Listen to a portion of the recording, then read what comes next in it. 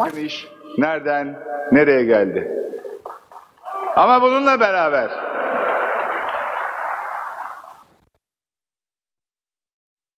karşıma kaldırım taşı çıksa dahi ona oy verirdim diyen pek çok sebeple eleştiren bir kısmı haklı sebepler. Kayıtsız şartsız beni ve arkadaşlarımı istemeyenlerin de 3 sene sonra iyi ki adam dayanmış. Şimdi biz de onu destekleyelim der konuma gelmeleri. En büyük arzum bu önümüzdeki 3 yıl budur seçildiğimiz takdirde.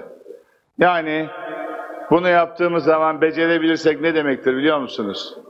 Bir, Fenerbahçe çok başarılı oluyor demektir. İki, Fenerbahçe bir ve bütün demektir. İnşallah o günleri de hep beraber yaşayacağız, göreceğiz, tecrübe edeceğiz. Şimdi ben burada çok şey anlatacaktım. Çok şey söyleyecektim. Bugüne kadar 3-5 kişinin, bilemediğiniz 10 kişinin bildiği şeyleri istemeyerek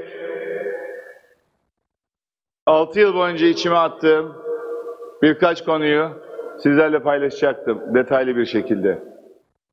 Ama ben mertçe savaşmayı, insanların gözünün içine bakarak mücadele etmeyi, arkadan konuşmadan doğrucu, doğrucu Davut edasıyla insanların yüzüne söyleyen bir insan olarak söyleyeceğim şeyleri söyleyeceğim kişi burada olmadığı için, yüzüne bakamayacağım için, mertçe söyleyemeyeceğim için ne kadarını söyleyebilirim ona da hakikaten emin değilim.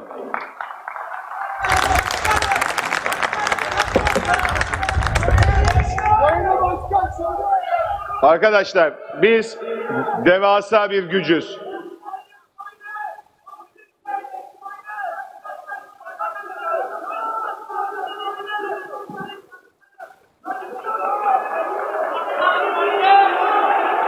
Rami sen misin? Dur ya yeni hastalıktan kurtuldu. Sakin ol. Sen istiyorsan söylerim. Otur, otur.